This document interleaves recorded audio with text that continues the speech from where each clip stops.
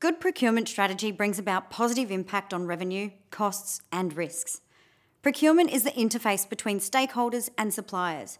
Your position brings the right people together, and that can bring about efficiency and innovation. But to do this, you'll need to be mindful of the following.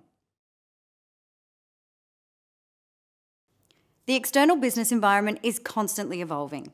Good procurement professionals need to be aware of external factors such as increased consumer awareness, complex buyer supplier relationships, trends in sourcing, planning for future sustainability, reputational risk issues, and market changes.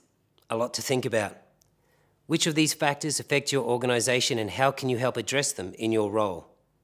What are the key drivers for procurement in your organisation and how do you measure success?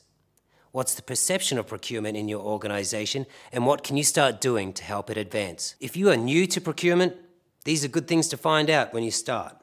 Let's recap. Procurement adds value by managing spend, understanding the market and other business factors, and being the all important interface between stakeholders and suppliers. Now you have the basic idea.